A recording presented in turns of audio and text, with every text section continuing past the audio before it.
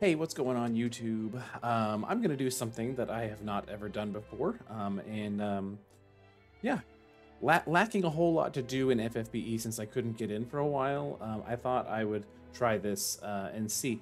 Um, so what I'm going to be doing in this video is I'm going to look over all the NeoVision's base units that I don't have.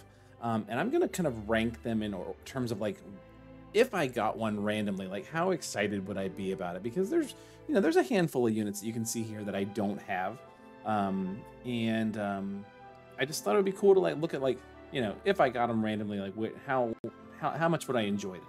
So um, let me give you a quick breakdown of what we're going to be doing. Um, these are only going to be units that I can get right now off of like regular tickets or EX tickets or something like that. So it's not going to include any collab units because um, a lot of the ones that I don't have happen to be collab units. Um, so we're just going to focus on the ones that I can get all the time. Um, and we're going to put them into, you know, one of five different categories. Um, the top category is S. Those, these are ones that I definitely like still want, like actively want to, um, to do something with currently. Um, and, uh, you know, would, would love to have for the future um, for actual use. Units in the A category are units that I want, um, but I'm not like bending over backwards for. Um, they, they, they would fill some need. I would definitely have use for them. Um, I think they're generally useful or, or you know, kind of good. But um, you know, I'm not going crazy for for like the fact that I don't have them.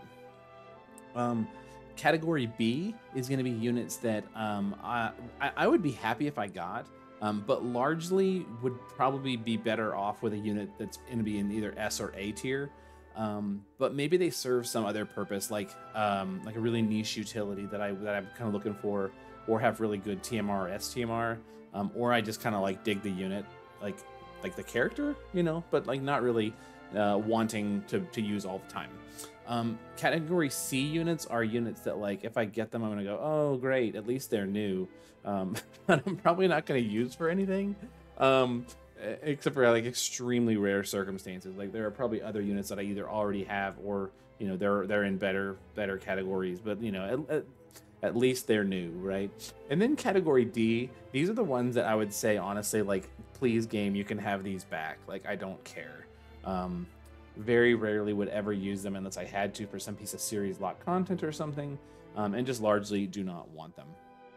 So we're going to kind of start uh, our list here, and you can see my mouse. We're going to kind of drag them into position, and I'll talk a little bit about each one and why I'm putting them where I want them.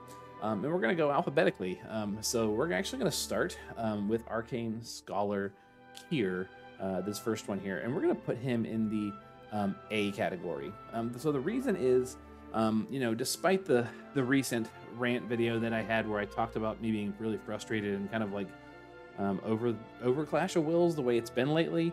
He is a Clash of Wills unit, and he does fields, which are really good. Um, even if his are kind of like annoying to use, um, he does have them. Um, and he does morale-based fire damage, um, and he could go go well with some other leaders that we we're going to talk about in just a minute.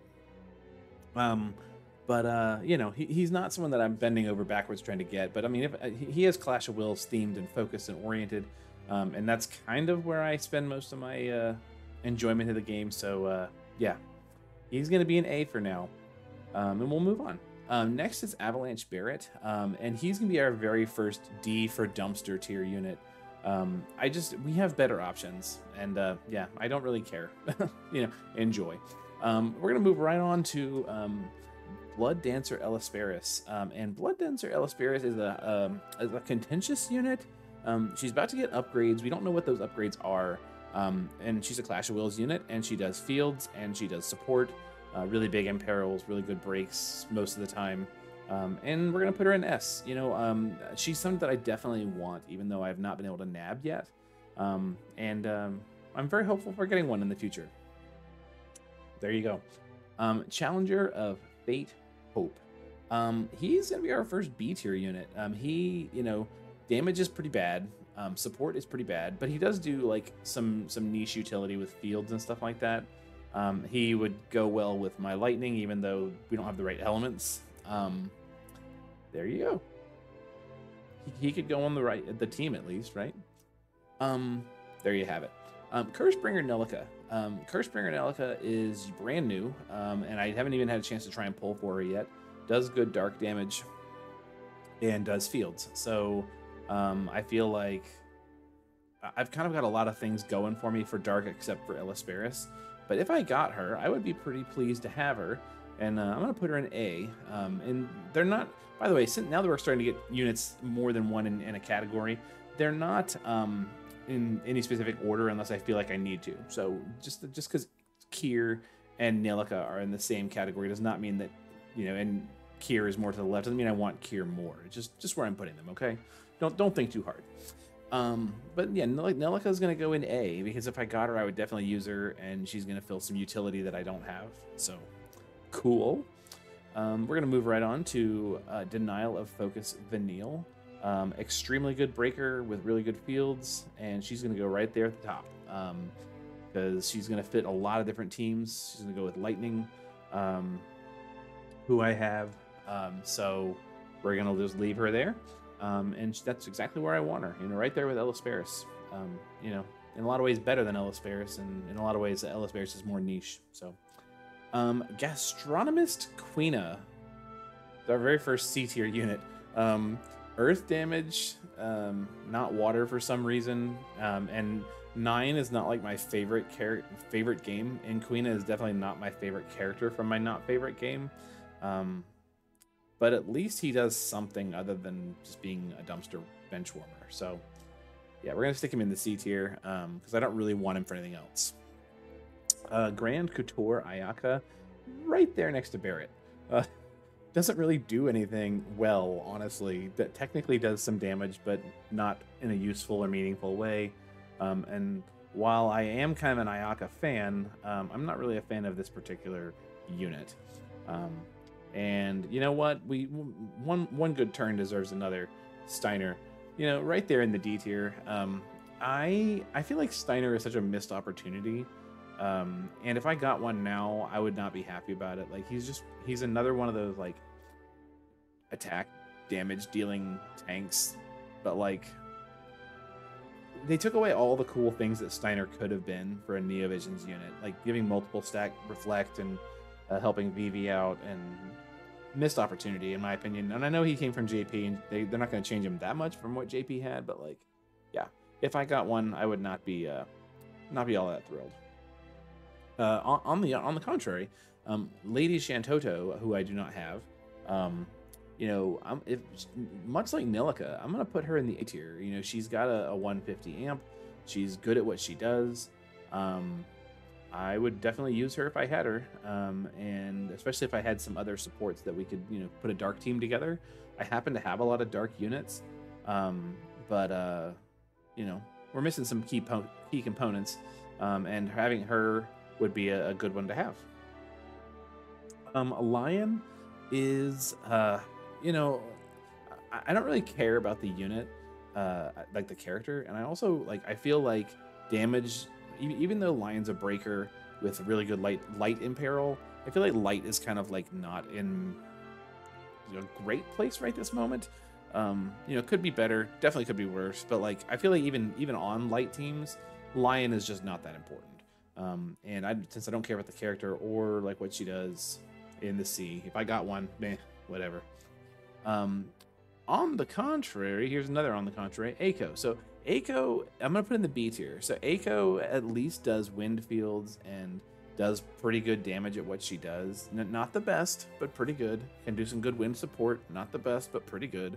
Um, and fills a role that I wouldn't otherwise have if I got her right now. Um, you know, I do have Zidane, so she could go with Zidane. Um, and I'm missing, you know, some other really good wind damage dealers. Um, but I've got lightning, you know, and lightning, um, I guess this would matter more for Clash of Wills wind units, but uh, you know, Lightning can do some things for Clash of Wills wind units, and Eiko's not one of them. But Eiko does do fields. Um, and I've also got a thing for summoners, and so that's where little summoner Eiko is going to go. Um, right next to Eiko, though, um, kind of funny, we're going to put Zaz. Um, you know, so Zaz um, would go really great with Vanille if I had them both. Um, and I do have lightning, so it could go really well with them. Um, but as far as like you know, definitely needing him, I feel like he's not the most important, and I also don't really care about the character. Um, but he does have like uh, event weaponry that you could have upgraded and stuff. So like, Um, if I got him, I wouldn't be upset about it. But like, I'm not using him in every fight right now. But maybe I just don't understand how to use him right. You know, I could I could be learning better and uh, maybe do better here. So anyway, we're gonna put him in the B tier for right now. Um, and uh, there you go. We're about halfway done, honestly.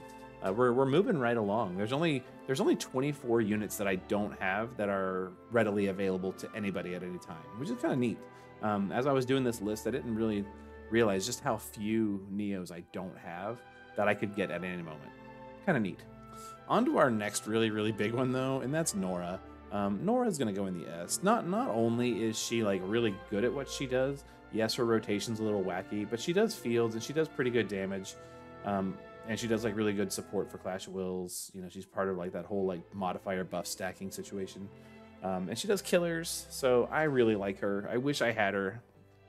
I threw a bunch of tickets on her banner trying to get her, and I just never got lucky. Um, she's also got that really great niche utility of the um, accuracy buff that nobody else really has at that level. Um, so that's pretty cool. Um, I would definitely not be upset if I had Ruin Explorer Nora. N- Nora. Um, next is Seeds Blue Mage Quistis. Now, this is a character that I actually like as a character, um, and I like Blue Mages in general, um, even though she's not that great. But she does have some utility with fields that I would not be sad about, um, even though her own personal damage is kind of in the toilet. But she's got she's got some fields. You know, it's cool. I like I like characters with fields. Um, fields and utility and niche stuff is, is is a is a thing that I'm a fan of. So there you go. Um, next is Snovlinka. So um, the music you hear in the background right now is actually the the Earth Vision card um, music. So um, definitely gonna you know if I got a Snovlinka, I would be pretty pleased. You know she just got recently got some buffs. I would definitely use her. She's a good leader for Earth until we get something better. Um, and uh, yeah, but I'm not going to go going crazy over her. Like there are definitely better units that you could use. Um, but you know, buffs are buffs, and she's she just got them. So I mean, if we got her, uh, I could definitely put her to good use. Um, just not like you know S tier, just like maybe A tier. And again, this is not like A tier units. This is just like ranking like how upset I would be if I got them. You know, um, yeah. So I would I would be fine with her. You know, I don't have her, so I could use her for like the Bialka trial or something like that. Um, there you go. Songstress Yuna, another unit that I am not a huge fan of. Like, I, I never played 10, I never played 10 2. Um, she's water, and water's like not that great. Although water in JP just got a bunch of uh, buffs and stuff because of the new uh, anniversary leaders. Um, so that's kind of cool. But we don't have them yet. Um, but she does have like that target, single target castable water amp 100% thing, like the, the rolling amp. So that's pretty cool. Um, you know, if we got her, we would definitely use her, just not all the time. Um, she's also got some killer buffs, I believe. Um, you know, utility is utility, right? Um, but there you go. Uh, on the other hand, uh, Veritas of the Frost. There you go. Um, yeah, definitely not a great unit. Really has has a really weird design and like like stat block and build, and doesn't really do a whole lot of anything. Um, but it is a Veritas unit, so like I'm gonna give it a couple points, but you know I don't really care. Don't don't really want this unit that bad. Um, so we're gonna go ahead and skip that one.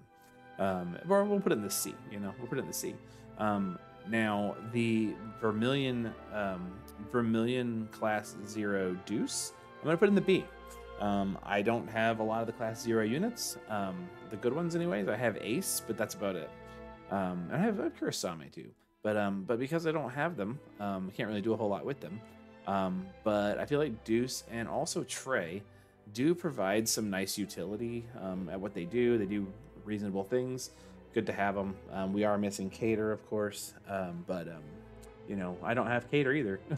so, but uh, if I picked up either one of those, I'd put them in the B. You know, it's it's like they're they're like I'd be okay with it. You know, it's fine. Uh, here we are, Void Mage Roka. I'm gonna put her in the S tier. Um, she does buff up you know several units that I like. Um, her leader skill has been changed. I don't. I um, she does the time magic stuff. She does damage. She does, you know, whatever. She does a lot of good stuff. Um, and if I had her, I would definitely put her to good use um, with my other units, especially if I could manage to get like an Ellisparus um, along the way, right? So we could have like a lot of good support for Dark, um, especially in Clash of Wills. um, and she does morale stuff. Like just you know, got some global buffs. Uh, I'm not going crazy trying to get her. Um, obviously, I just, just actually just got back in the game today, um, and um, haven't decided what I'm gonna do as far as like pulling on anything yet because um, just trying to make sense of everything that I'm doing this week. Um, but if I happen to pick up a Roka, I would not be upset about it. She would be, we'd be very excited. Um, contrast that with White Mage Creel, who doesn't really do anything. Her kit's really like confused, right? She's very, she's a very confusing unit. She's like wind support and earth damage. Doesn't make a whole lot of sense. Although her sprite's really cute for both her White Mage form and her Berserker form, um, I'm just going to leave her right there in the sea with everybody else. Let's go ahead and say it. She's going to go in the S tier. I tried to get her. Um, I, I, I pulled on the card step up and I didn't get her at all, and I miss. I really regret not getting her, but I just couldn't. I couldn't justify the lapis, and I didn't really have the lapis anyway. Um, but I do really wish I had Malphasie, and if I had her, I would put her. I would be super excited and have her in the S tier um, for like units that I'd be excited for. Um, she does a lot of things that I would want. Um, she does the wind support in Clash of Will. She does a field. Um, does good damage. Who, who, who could complain, right? People who don't have her, that's who. And that brings us to our final unit that we don't have, um, and that's Young Hero Zack. Um, I'm going to put Zack in the A tier. I've actually got a fairly nice collection of lightning units. Um, so, like, I've got Wondrous Flash Lightning, I've got Angeal. Yeah, I recently got Cloud Strife. Um, you know, if we could pick up a Nora uh, or a um, uh, Vanille, we could have nice, nice fields for lightning. Um, and Zack would just go well with it. So, like, uh, if we had that situation come up where we got a Zack, you know, we could definitely make use of him. Um, he could go along with, you know, other units that we had. And uh, there you have it. So, it, of these 24 units that uh, that I don't have, um, five ended up in the S tier, five ended up in the A tier, um, seven ended up in the B tier, and uh, four in the C and three in the D, which I think is not bad.